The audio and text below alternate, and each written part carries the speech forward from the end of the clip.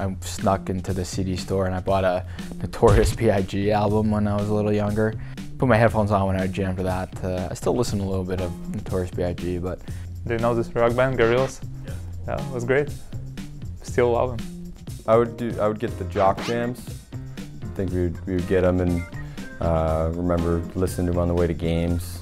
I remember my mom and dad had a Fleetwood Mac CD that I just I I listened to it all the time and and like a James Taylor CD like the, just two like wh- why is this 10 year old listening to these two CDs but I I loved them. There was always those absolute rock or absolute pop, absolute 90s, absolute 2000 or something like that. And Whenever I'd mow the lawn, I'd put my iPod in, and uh, it was a Nickelback album. And I would just mow the lawn to the whole album, and by the time I got done mowing the lawn, I, typically the album was over with. So One of the Linkin Park, and another one was the Offsprings.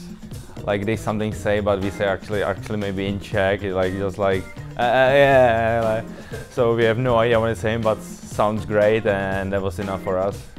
Get Rich or Die Trying, 50 Cent. I was in grade seven or eight. That has to be probably one of the best albums ever, so I had that one for sure. I was listening to it the other day. It's So hot, still bangs. Still bangs.